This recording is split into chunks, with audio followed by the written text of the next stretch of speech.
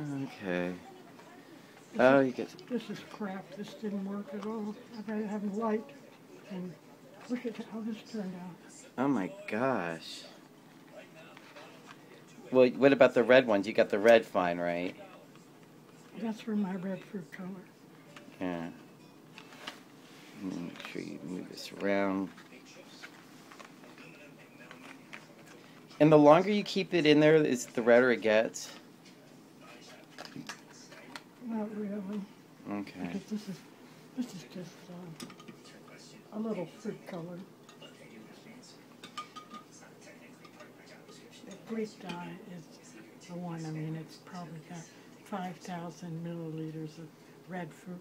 What is it, number 10? Number 10.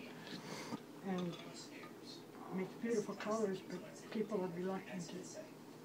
You might want to eat it because the red goes through the egg. Through the egg. Never bothered us. Yeah. And my family